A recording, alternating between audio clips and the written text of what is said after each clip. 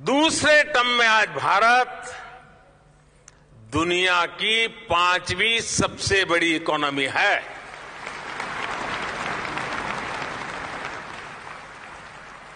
और ये track record के आधार पर बातों बातों में नहीं, ट्रैक रिकॉर्ड के आधार पर मैं कह रहा हूँ। मैं देश को ये भी विश्वास दिलाऊँगा कि तीसरे टर्म में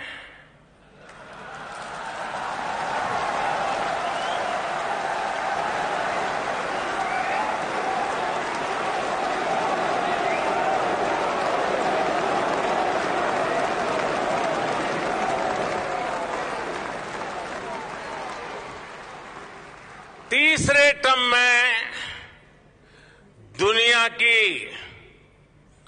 पहली तीन इकोनॉमीज में एक नाम भारत का होगा।